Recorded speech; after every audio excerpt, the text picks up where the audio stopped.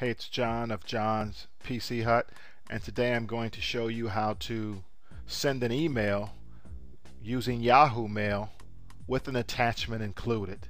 Now, for this tutorial, we're going to make a couple of assumptions. First assumption is that you do know how to use Yahoo Mail and that you know how to send an email message. Having done that, first thing you're going to want to do is you're going to want to click on compose message. It's going to bring up this message box that you have before you. You're going to want to type in your recipient information the person that you want to send the email to. You're going to want to fill out the subject area. In this case we've chosen family vacation photo as our subject because we're going to be sending a photo.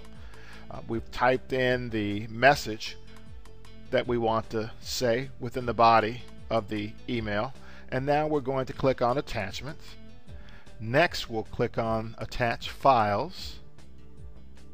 That's going to bring up our documents.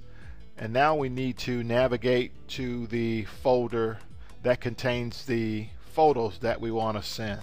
So we'll click on libraries. Next we'll double click pictures.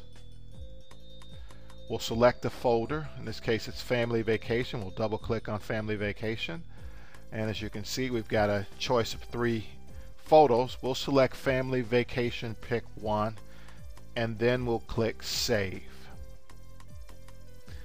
And as you can see that photo has been added to our email. And the next step is basically just to click the send button. And our email will be sent and that's all to it. This is John of Johnz PCHut and I've just shown you how to send an email using Yahoo Mail with an attachment included. This has been your tip for today. Take care.